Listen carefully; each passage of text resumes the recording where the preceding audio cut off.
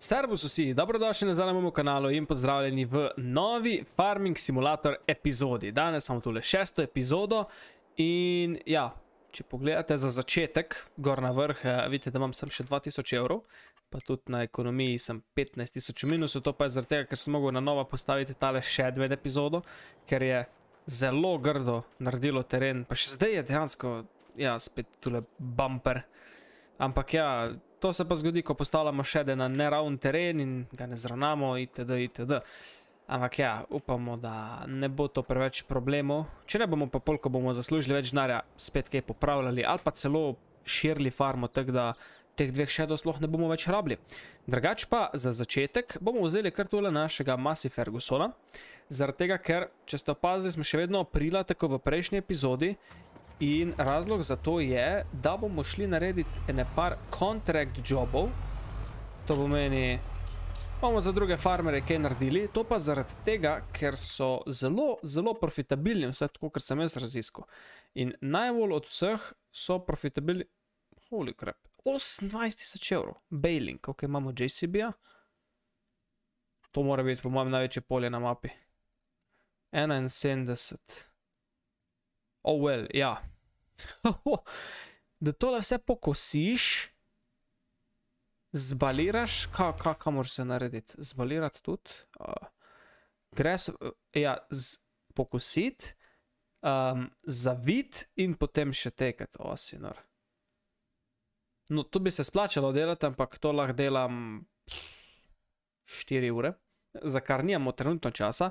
Moja druga ideja pa bila fertilizing. Tole naj bi bili najboljši kontrakt jobi, tako da bomo kar vzeli najverjetneje kar ta največjega. Uporabili bomo pa, dobro, v končni fazi lahko uporabimo,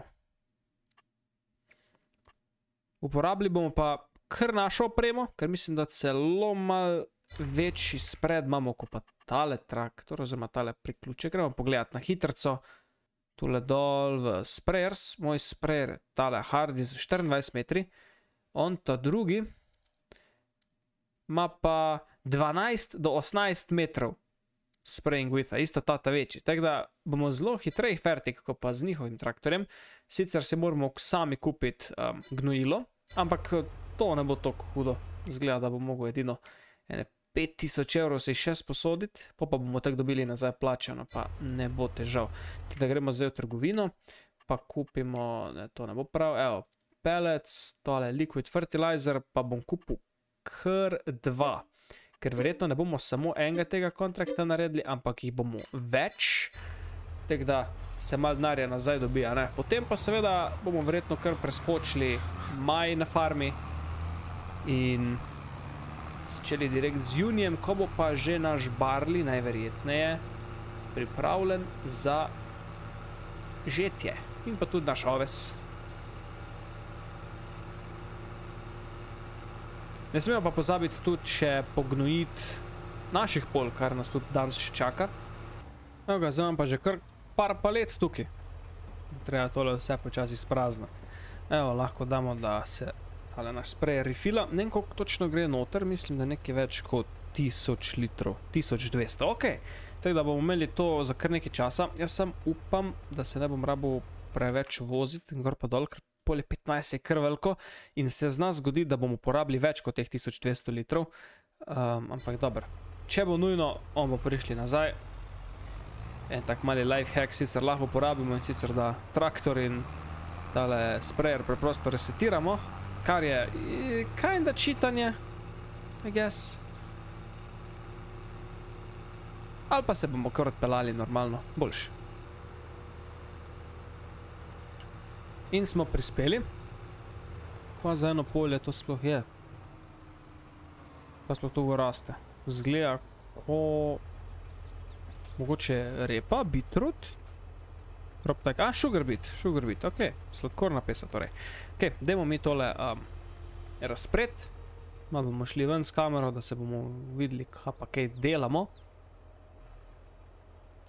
In ja, glede na velikost mojega sprayerja, to ne bi smelo trajati predolgo, upam.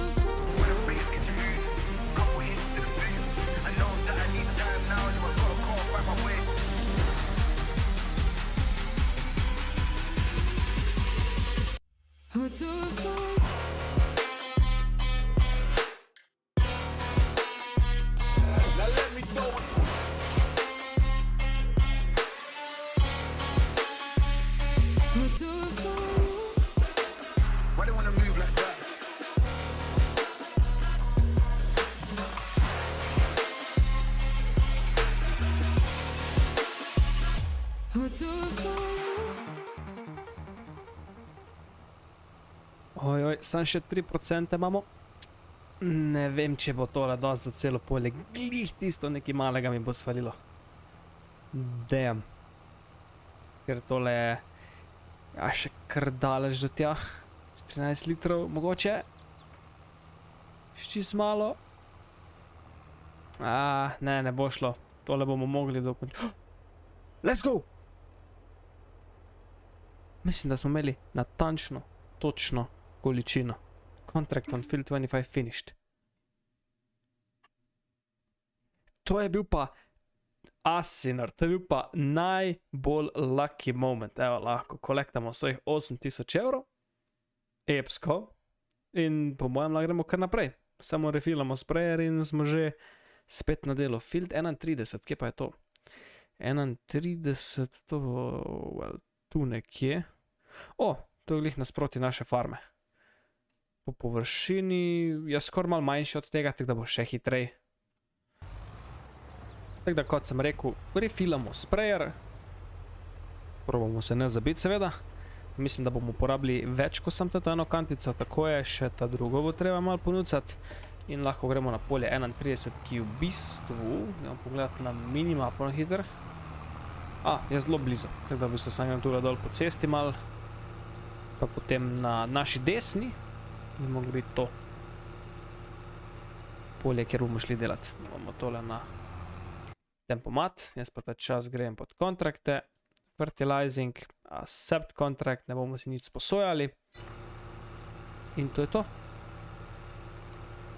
Tukaj je moj izvoz, desno, tule ne bom mogel priti zaradi te ograje. Kje tukaj, naprimer, ni ograje? Evo, tule ni ograje. Pa gremo tule noter. Ah, tudi tole bi mogli končati takoj, dobesedno.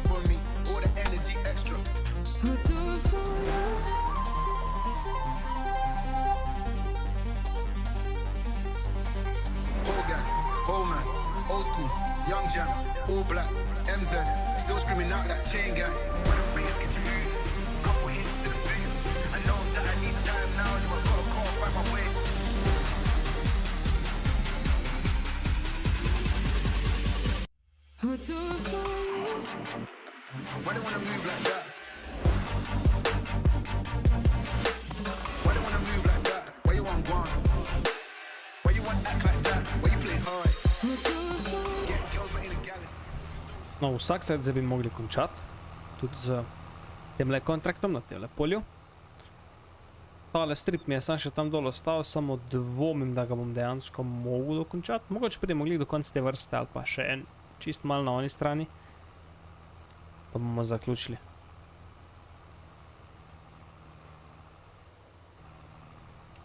Takole, bom jaz pogledal, koliko nam gre s tem, a smo slučajno že končali. 91%. Torej, malo še imamo. Imamo tule malo rikverza, ne bomo tamle spet ograje podrli. Pa še naredimo te teh 9 malih procentov. Ne bi smelo biti prehudo. Čeprav ja pa vidim, da kar eh, širok strip vseeno, glih teh, ne vem, koliko, 22 metrov, malo manj, ko je naš sprayer velik. Zelo bi me čudilo, če bi mogel iti dejansko čist do konca. Aha, evo ga, contract on field 31, finished. Super, evo, lahko vzamemo še 7000 evrov. Temu se vrače čisto domače, easy money. 17 tisoč evrov imamo zele iz, ne vem, 15 minut, koliko je tole sprejanje trajalo, kar je kar super. Sicer zelo ni najbolj, da se jaz po tem le polju, karkoli to je. Kaj sploh je res to goro? Bombaž? Cotton, bombaž, res je. No, ni najbolj, da se jaz to gor zdaj vozim, ker ja. Dejansko IRL bi uničil vse bombaž, ki ga je posadil. Sicer imam te kao oske gume, sem na tem traktorju, sploh niso tako oske, kot si bi mogoče mislili, da so. Zgleda zelo podobno čist običnim gumom, tako da. Še ena zanimivost, I guess. Tule lahko gremo evo skozi, pa pridemo na glavno cesto, zdaj če se jaz ne motim, moram iti še v to smer do naše farme. Ja, res je, tam že vidimo triggere za vse naše greenhouse. Fajn je bilo tudi pogledati, kako nam grejo. Sicer je še vedno april, tek da vse, ki smo jih postavili v prejšnji epizodi, niso še nič naredile. Mogoče pogledamo rajši jutri, torej v maju. Verjetno najboljša opcija v tem trenutku. Tako, ne vem zakaj sem šel zdaj ta velik krok okol, ampak dobro. Ja, zdaj na farmo, pa bomo tule napustili naš sprayer, ki ga verjetno nekaj časa ne bomo rabili. Naših stvari ne bom spet danes gnojil, ampak jih bomo mogoče ob koncu epizode, potem ko bo že maj najverjetneje. Ker ja, treba je vedeti, da če smo jih aprila špricali proti plevelu, tem je najboljš, da se jih maja spet pognoji in je to to. Zdaj pa mislim, da lahko gremo spat. Nisem zdaj si zihar, a bi hotel iti spat, ker tale bailing kontrakt ne zelo vleče, da bi ga naredil. Sem zdaj, če bom šel spat, pa pač šel v maj, lahko da ne bom več mogel tega narediti. Ker lahko da bo že nekdo drug naredil to namest mene. In to je skoraj predobra priložnost, da bi jo zamudili. Bom pa seveda uporabil tole list equipment oziroma sposojeno opremo, ker imamo JCB-ja, to gre 60 ali 70 celo. In pa vse te stvari, da to bo kar super, da teh 1000 evrov sploh ni panike, če jih vzame. Tako da nimamo druge, kot pa da tole vzamemo, ker je lahko kar dober cash boost za našo kmetijo. Tako da, evo, borrow items. Verjetno bomo tule pomagali tudi z našimi traktori, naprimer za kako baliranje ali pa transportiranje. Ko bomo vmes nastavili workerja, bomo tudi naše traktore vzeli, drugače bomo pa večinoma delali z JCB-om, ki naj bi ga dobili. Evo ga, da vidimo, kaj vse smo res dobili sploh. JCB-a? Ok, dvojno, aha, ok, tole, kako se reče. Kosilnico, velik windrower, to mi je zelo všeč, in pa balirko, pa wrapper. Imam eno idejo, kaj če bi mi rajši uporabili našo balirko, zaradi tega, ker pač like... Oh, never mind. Naša balirka ima avtomatski wrapper zadnji, ampak je za krožne bale. Viš, ta pa je za kvadratne. Ok, ni panike. Bomo vzeli tega JCB-a, pa kar začeli tovoriti stvari na polje. Za začetek, o, se to prav priključi, da bomo šli reverse pa vzeli tale sprednji del. Hello, zakaj pa to meni ni hodilo priključiti? Jaz sem zato sam išel naprej, what the hell. Attach.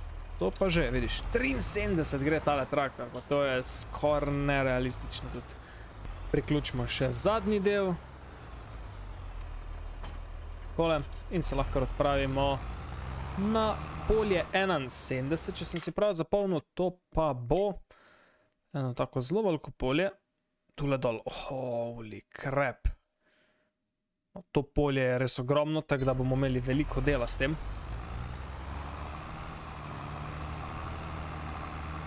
Dobra stvar, kot smo rekli, tale JCB traktor je res hiter, tako da bomo tudi tam zelo hitro, brez uh, tega dolgega potovalnega časa. Moramo pa zaviti, um, najbolj žal že kar tukaj desno.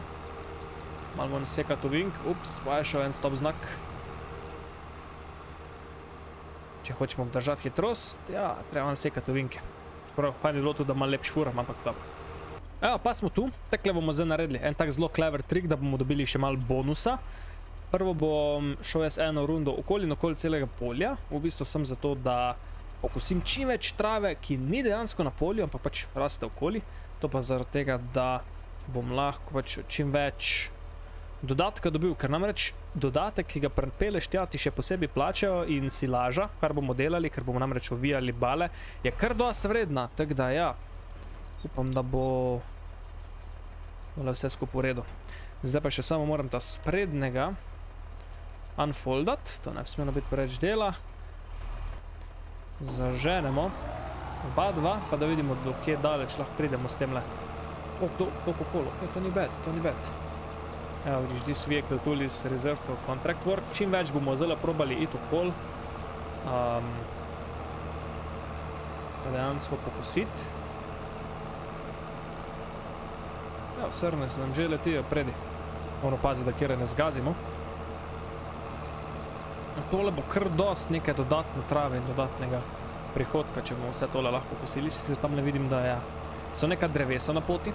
Ampak dobro, tista se bo mak se bomo maknili, I guess. Da malo bolj na stran.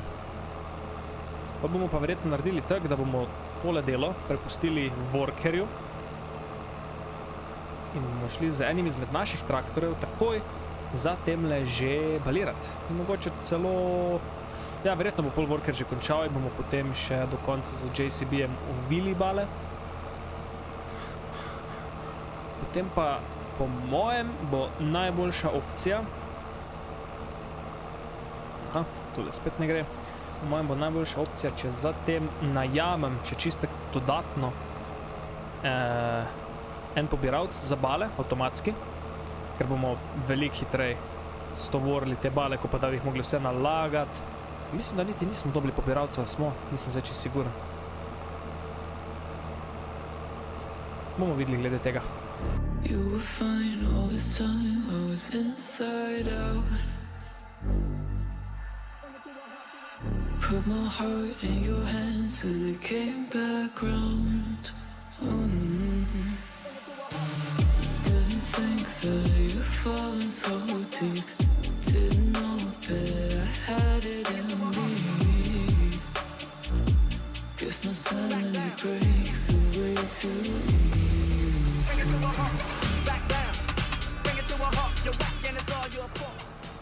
Evo, tule bomo delo prepustili workerju, da sam pokusi večino oziroma preostanek polja. A tule vidim, da bo en strip spustil, ker tudi mi nismo šli glih najbolj ravno. Bomo to potem dokončali za njim.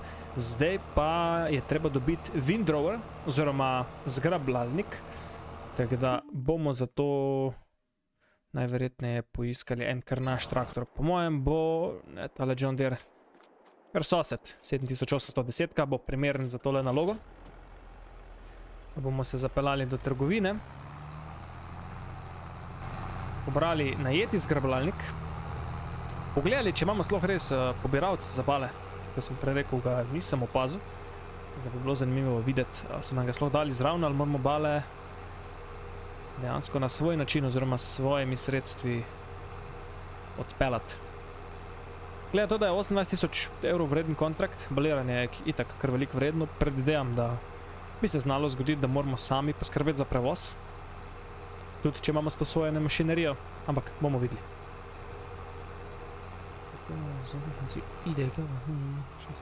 O, never mind.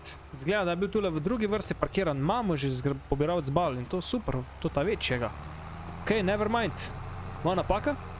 Tole je dejansko super. Ok, preključimo Windrower po angliško. Nem zgrabljalnik je meni iskreno čudno govoriti. Windrower v angliščini se čuje veliko boljš. In se odpravimo na polje 71. Tale mašina je velika, stari. Ali ima zihar vse 15 metrov working with Da verjetno preden začnemo s tem, bo tudi boljš, da workerju pomagamo še tisto eno linijo dokončati, ko je ni dokončal. Upam, da sem jaz zelo to prav šel. Mislim, da sem šel prej po eni drugi ruti. Če ne, se bomo mogli pa obrnati. E, se bomo prišli prav. Verjetno samo mal daljši. Approach, ko pa če bi šel na tistem drugem ovinku levo.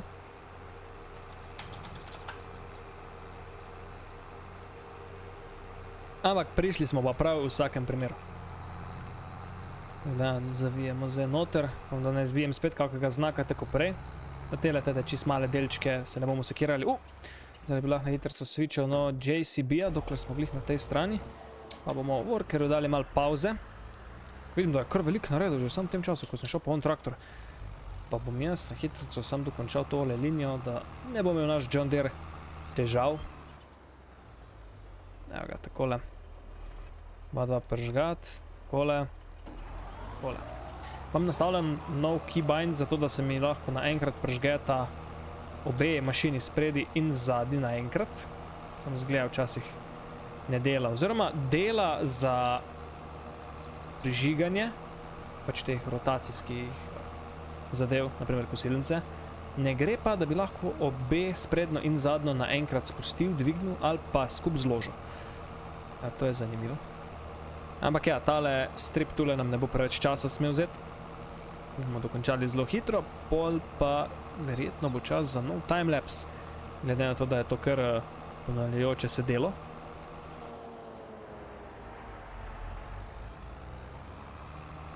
Takle, postavimo še workerja nazaj na svoje mesto, tam ko mora biti. Evo, lahko nadaljuje, mi pa gremo delati svoje. Aha, worker je zblag en object, verjetno, ker sem šel ven. Naš John Deere nas že čaka. Tudi mislim, da zelo je ta čas, da prijemo do tale do roba, lahko kar že razpremo tole, upam, da bom kaj butno. A ne bi smel načeloma.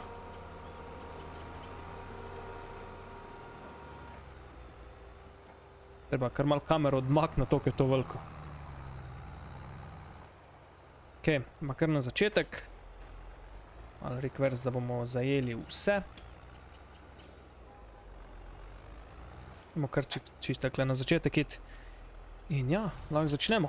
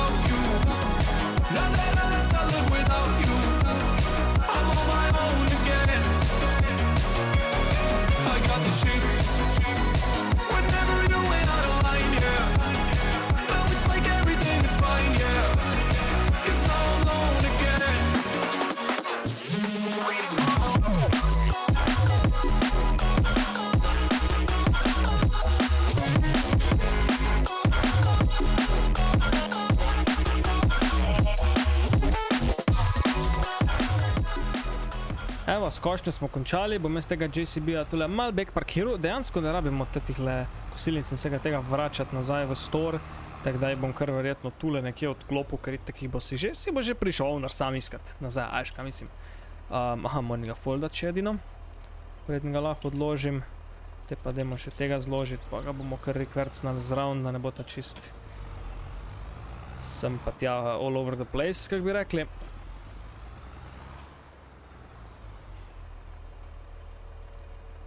Oh, come on, zakaj mi ga je šel razpirati? Jaz sem ga hotel samo malo nižje spustiti, zato da ga ne bi tako vrglo dol. Ampak dobro, kakorkoli igrca želi. No, vse, kar bomo zdaj naredili, zaenkrat ugasnil ta traktor, pa gremo dokončati uh, delanje riž z temle John Deerom. Zdaj, če sem kaj svalil, kot ste lahko videli vmes, ne bom se predsekiral glede tega, ker itek smo ogromno trave dodatne dobili že sam s tem, ko smo okol polja uh, nekaj dodatnega pokosili.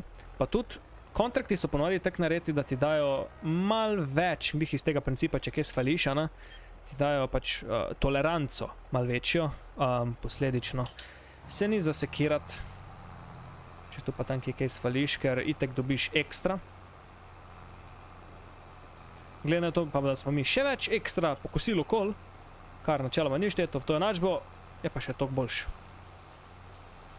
Zdaj, ko smo to naredili, um, tudi tole bomo sam skupaj zložili, pa mojem najlažje, da ga kar na drugo stran ceste tole zapeljem, da ne bo delal na potem. Evo ga. Detaching while folding is not allowed. Tako da. Zdaj bomo pa naredili eno pametno stvar, ki jo ima FS22 noter in sicer bomo temule mojemu John Deru nastavili delo, set destination, naj se sam odpelje tule do stora, evo. On se bo lepo sam pelal v workerju, tako da ne rabimo dvakrat hoditi po njega, jaz pa se s tem traktorem sam zapeljem, in tega bom verjetno prehitev, ker je pač hitrejši. In bomo pripeljali en balerko, drugi pa že kar ovjavc. Zdaj, zato da bo vse prišlo normalno skozi, glede na to, da bi rad za JCB-jem tovoru bale, zato ker je pač seveda hitrejši, bomo balirali z JCB-jem, ovijali z New Hollandom in potem tovorili spet z JCB-jem, po mojem bo to najboljši approach. Ja, upam, da vas ne motijo to koliko timelapsov. Lahko napišete v komente, kako se vam zdijo ti timelapsi so fajni, ali imate rajš jump cute, ali pa kar pač to direktni farming, ko je še vmes kaj zdravo komentiram. Ampak ja, je pač tako delo, ko traja nekaj časa, da se naredi in da bi pa jaz bil tiho in bi vi gledali 3-urni posnetek tega, kako jaz eh, baliram, pa delam riže, pa kosim, pa ne vem, če je glih najbolj zanimiva zadeva. Anyway, pa tale balerka zgleda proti temu ta večjemu JCB traktorju kar velika, no, moram reči. Motor sem falil, z tega stranskega pogleda nijem pa nobene 3D orientacije, da bi to kaj jaz nacentriral. Šment. Ok, smo že pripravljeni za nazaj, naš John Deere. Wow, halo? AOD 597. Ej, če bi bil tole roleplay, ali pa če bi imeli možnost tole farmingu policiji, ki prijaviš, mater bi mu zelo dali kazni. Dec se je full speed zabil v mene. In to na... Niti ne na glavni cesti. Načelom bi se mogli te zadeve ustaviti, ne pa da se na polno silo zabijajo v tebe. Evo sem tule ustavil, pa bomo switchnali, evo na tegale. Lahko ustavim workerja in grem sam naprej in zdaj bom spet naredil isto kot zdaj. Priklopil bom tole ovijalko. Pa mu nastavil job, naj se sam odpelje nazaj na polje. 71, najboljš, da gre kar eh, semle na začetek. Se tja obrne in to je to. Jaz pa ta čas nazaj v našega JCB-ja, pa s polno paro balirati. Ker ja, to je pa taka stvar, ko je worker glih ne more delati, ker workeri to zelo čudno delajo. Dejansko se ne orientirajo na to, kje so te riže, ko smo jih mi naredili z Windroverjem, ampak vedno razmišljajo, kot da se ni nič skupaj zgrablo in potem hodijo gor in dol po polju s tem le koliko, meter pa pol, dva metrskim, na dva metra širokim delom za pobiranje in pa se sam vozijo gor pa dol dejansko, pa zelo malo naredijo. Ok, kje bi začeli? Najbolj za nek tak od začetka, da ne bomo skakali preveč sem pa tja. Ja, tu je bo čas, ko prije na vrsto še kak timelapse. Pač je to tako kar dolgotrajno delo.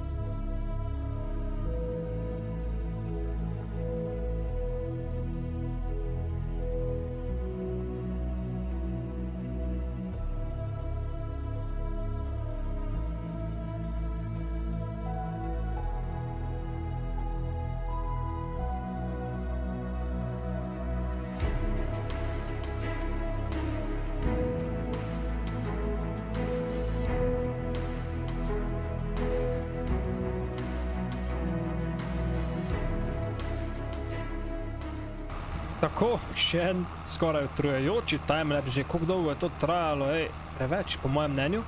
Smo pa zdaj že zelo blizu completionu, sem še tam le naslednja runda čaka in zdaj za zadnjo balo bom mal spremenil velikost bal, ker namreč lahko, prej sem vmes pogledal, spreminjaš velikost bal, change bale size, sicer lahko delamo 220 cm, 40 in pa 180. Zdaj jaz samo upam, mogoče bi se splačalo to že zdaj pogledati, da tale uvijalc, ko ga imamo tule, verjetno bomo mogli switchati do našega, a ne, nevermind, se je uvijalc, evo že tule, upam, da tale uvijalc lahko dela 220 cm bale, ker drugače imamo težavo. Kaj to za en model sploh res? Uh, Kun SV 4014, gremo v shop pogledat, uh, to bo verjetno pod Teders, Bale Wrappers, evo, tale.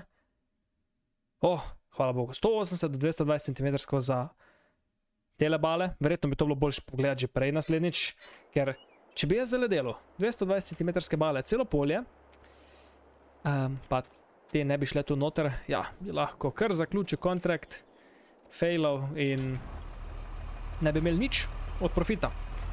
Ampak ja, kot sem rekel, v vsakem primeru bomo zdaj spremenili velikost na 180, ker na ta način bomo zdaj na koncu še več, opala, nekaj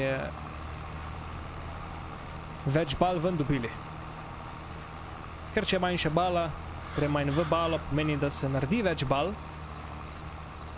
Če se pa naredi več bal, pa pomeni, da bomo lahko verjetno še tole in pa še mogoče eno dobili ven zadnji, sicer bo vse ostalo šlo v waste, ne?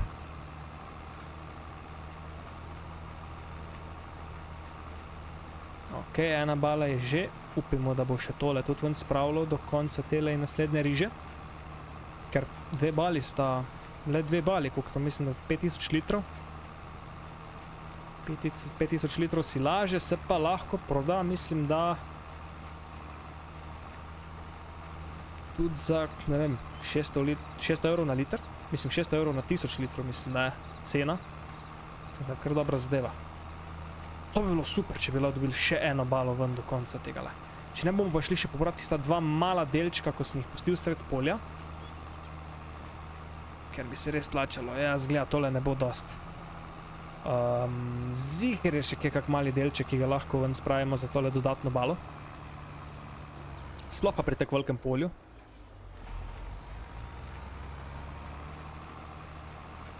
Samo da bo tole pobralo. Ok, tole je. Pa kje še? Uh, imamo še rezerve. Tamle dol zgleda je še nekaj sem pustil. Lej, tole bala bomo dobili ven za vsako ceno. Me čist nič ne zanima. Ker je škoda. Škoda frokat. Ena bala je, ja, koliko smo zdaj naračunali? Po mojem 2 do 3 tisoč evrov. Kar pa glede na naše trenutno finančno stanje ni slabo sploh. Ga še malo. Še 10% pa mislim, da bi lahko tudi tole dol spravili. Oh, come on. This vehicle is reserved to contract work. Sej vem, da je, sam pa če bi rad tale mali delček še ven spravil. Klepelmo čist po robu. Oh, lejko ne pobira, come on. A pa če tole balo stišimo, pa še ta košček poberemo. Zgleda, da tamle ne bo šlo, tako da moje zadnje upanje so tele te li, ostanki sred polja. Upamo, da še vržem tole balo dol, da lahko zaključimo. Ajde, še mal bala, tole bi moglo zaključiti. No, dejansko je pa to zaključil tale zelo mali košček trave tule še v sredini. Kar celo polje sem še mogel skoraj čez za to, da sem tele male, male koščke pobral. Ampak ja, zdaj te tele bale pa zagotovo več ven ne bomo dobili, tako da se je ne splača um, več forsirati, ker že tole, iskreno, se skoraj ni splačalo. Ampak dobro, me zanima, koliko bal smo naredili, ker tega je ogromno. Tako da dajmo pogledati po statistiko. Kje se to točno pogleda? Aha, statistics. Bales produced. 71 smo jih danes naredili. Kar ni bad. 71 bal za tako polje. Zdaj jih moramo pa seveda še vse uviti in pa transportirati. Do sell pointa. Upam, da dobimo kaj bonusa dejansko, ker 28 tisoč je velik denarja za kontrakt, oziroma malo manj, ker smo si sposodili mašinerijo. Ampak še vedno to ni spet ne toliko velik. Ne bomo pa spet uporabili tale super feature, to mi je dejansko eden izmed boljših featureov zelo 22, set destination, pa ga nastaviš, da gre na shop in bo tam vzel pobiralc bal, to je to. Nimaš zabancije z voženjem sem in tja, mi pa ta čas lahko gremo našega John Deera, dajmo kamero ven in začnemo ovijati. Za tega ovijanja ne bom timelapsov, ampak bom verjetno kar jump cut na vse skupaj. Tako da, ja, se vidimo na kakem progress checku ali pa, ko bomo z vsem zaključili. Mislim, da je bila tole naša zadnja bala, bom šel za vsak slučaj še enkrat čez celo polje na hitro okoli in okoli, da vidimo, če smo kako svalili. Tole je vzelo kar nekaj časa, kot vidite, pri ja, nicelih pet hitrosti je že ura pol osem in se že temni. Sem kar vklopil te večje fieldwork lučke. Zato, da se vse skupaj boljš vidi. Uh, ne zgleda, da bi kako pozabili. Mogoče čisto po kotih je bolj verjetno, da se kaka nam skrila, ampak mislim, da je to to. Ja, tako da zdaj vse, kar nam ostane, je, da vzamemo JCB-ja in jih začnemo nalagati in potem tudi pelati proti sell pointu. Vem, zdaj samo ugasnem vse lučke, da ne bomo trošili akumulatorja na traktorju, pa tudi tole ga bomo ugasnili. Gremo, o, sem ga svalil do JCB-ja.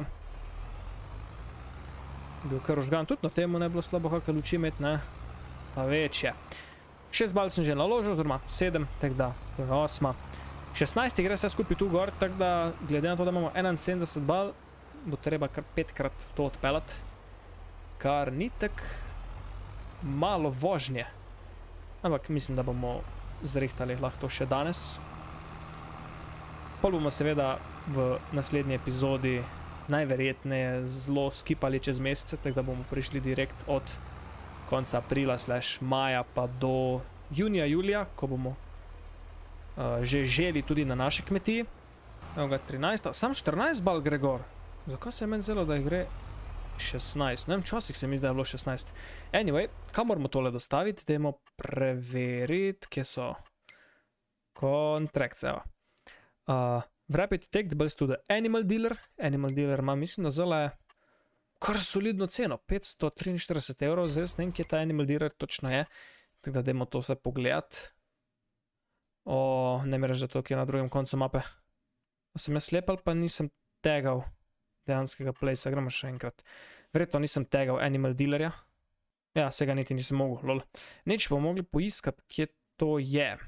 Ok, mislim, da je kar slabo tole, no, ker nas čaka ogromno transportiranje. Tule gor do Animal Dealerja treba priti. To tak, čez celo mapo bomo tele bale vozili, pa koma 14 jih gre naenkrat na en load. O, to, ja, ni najboljše, ampak nimamo druge izbire.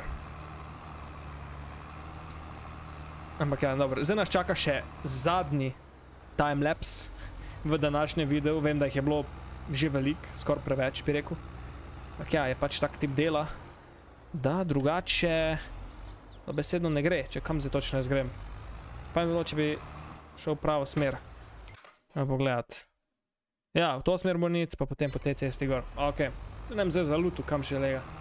Najboljš, da prijemo kompletno naroben kot mape in ugotovim, da sem šel popolnoma napačno smer. To naj bi bilo v redu.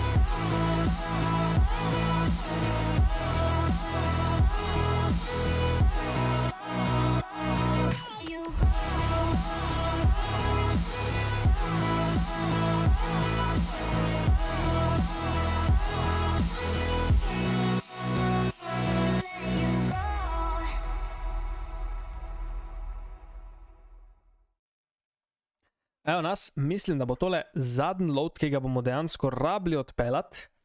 Um, in vse, kar smo imeli še na polju, bo basically ekstra, ker namreč 80% smo že pretovorili.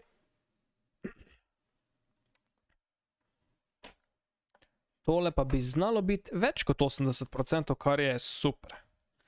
Tako ga unfoldamo. Je pa tudi že kar tema ratala, sem mogel tudi za cesto uporabiti kar une delovne luči, tako da se sploh kaj vidi. Ker tudi se mi zdi, da je v recordingih, ja, je vse skupaj malo temnej, ko pa premenj, ko to dejansko gledam, no da vidimo, koliko bomo prodali, oziroma koliko denarja bo šlo. Holy crap! Samo od tega smo dobili 12 tisoč evrov, plus 28 tisoč evrov nas še čaka pri lastniku te farme, ker smo mu pač končali kontrakt. Ampak seveda, prednjem te 28 evrov poberem, imam še jaz kar dost bal za zvoziti in to bo en konkreten profit lega. Nice. Iskreno sem pričakoval, da ne vem, bo ostalo tam 3, maksimalno 4 bale, ne pa, kot jaz vem, za eno celo prkolco. Pa pri ceni, ki jo ima zele bale, kot smo videli, se je ta kontrakt res splačal. Koliko bal nam je tež ostalo? 1, 2, 3, 4, 5, 6, 7, 8, 9, 10, 11, 12, 13, 14. Mislim, da je točno. Mislim, da bo točno. Čeprav, ja, rekli smo 71 bal, kar pomeni, da bi bilo logično, da bi jih bilo tule v temle kupu še 15. In ja, tako kot sem predvideval, ena bala bo ostala viška in jo bomo mogli še enkrat tiskati. Ampak dobro. In zdaj pa tisti najboljši trenutek, ko vidimo, kako bo denar samo eksponentno naraščal. No, vse tek pričakujem. Če še cena, koliko je res sploh cena tega? Tako sploh nisem spremljal. Lahko je, ker smo to veliko pripeljali, že kaj padla. Mm. Kje imamo silage? Ja, na biogasu je zdaj višja cena, ampak še vedno bomo prodali vse v Animal Dealerju, ker meni se zdi, da na biogasu ne moš prodajati vsaj ne tega 1 megawatt biogas plantu, mislim, da ne moš prodajati, če nisi lasnik. Tako da bomo se držali tega. Etek, vse, kar zdaj naredimo, dejansko ekstra denar. Da se za tistih par sto evrov, mogoče maksimalno, kaj bi lahko bilo razlike, ne tisoč, dva tisoč, da se ne bomo predsekirali. In da vidimo, koliko denarja nam bo teh 14 bal preneslo.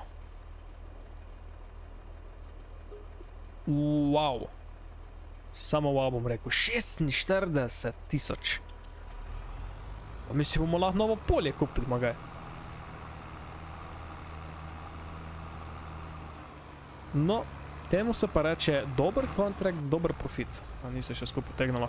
Tule me je tudi med timelapsom dvakrat vrglo ven z traktorja, ker hočem pač to ročko za pobiranje zložiti skupaj. Ampak, kaj se na končno zgodi, je, da se pač te... Ta prkolca se ne zloži skupaj, tako bi se mogla v glavnem dosti hitro. In pol mi avtomatsko me vrže ven z traktorja, ker je pač podoben keybind. Ampak ja, bomo šli še po zadnjo balo zdaj. Da bomo še tiste zadnje par tisoč evrov, že tako tak smo jo... Že tako smo jo, ko smo delali bale, kar mal izsilili skoraj. Zato da je prišlo ven z tiste balirke, ker dejansko smo... Nam, nam je mal falilo, no. In tudi zdaj jo moramo čist posebej prodajati. Je pa po mojem zdaj do konca naše žetve, ker zdaj vse, kar moramo narediti res pri nas, je še samo pognojiti polja opala in potem začeti z žetvijo. No, do konca žetve verjetno ne bomo več delali nobenih kontraktov, itak smo v današnji epizodi ogromno zaslužili. Tako da mislim, da ni potrebe potem, ker sicer bomo še zelo v mesecu aprilu in maju lahko več epizod, če bomo vse te kontrakte, sploh fertilizing, ta dobre delali. O, spet sem zbil poštni predalnik. Res je sicer tudi, da uh, ni bilo zelo najboljš, da sem jaz uh, večino tega dela upravil v temi, ker se na videu zagotovo slabše vidi. Ampak ja, če ne druga, mi je to preneslo koliko, mislim, da 17 tisoč evrov smo že imeli. Tako da gladko, skor 60 tisoč evrov. Zdaj, če bomo zračunali zraven še to balo, plus seveda 27 ali 28, koliko dobimo od samega kontrakta. Torej 3200 je vredna ena sama bala, zdaj pa bomo kar od tule zaključili kontrakt in sprejeli naših 27185 evrov. Smo na stotki mogoče? Let's go! Nice. 104.867. No, to je pa zelo lepo videti, da denar, ja, moramo ga kar čuvati, ne smemo ga prehitro zapraviti. Za začetek bomo padli nazaj pod 100, ampak mislim, da je pametno, da odplačamo naš kredit, tako da bomo repejali teh 20.000.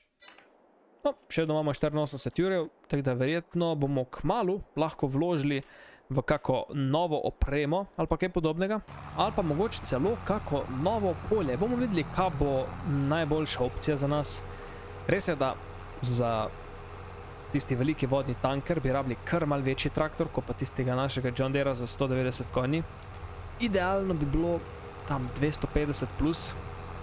Je pa res, da long term, če bi hoteli seveda take mašine imeti, bi rabili tudi kako večje polje.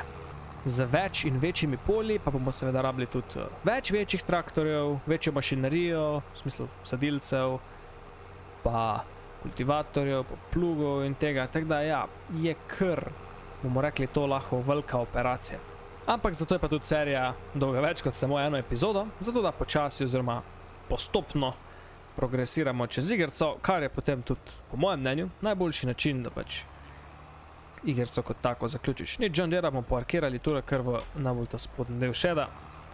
Mali ruker, kar mi ni všeč, ampak ne, bomo videli, če se bo dalo, bom to popravil ali pa kasneje, ko bomo imeli že več stvari, idealno seveda lahko tole podrem, pa ne vem, celo polje razkiram za parkirišče ali pa celo čist zravnam teren in pol uh, neki skombiniram, ampak ja, to bo kar težko, ker Postavljanje in predstavljanje objektov je kar drago, FS22, pa tudi tale oblikovanje terena ni tako poceni.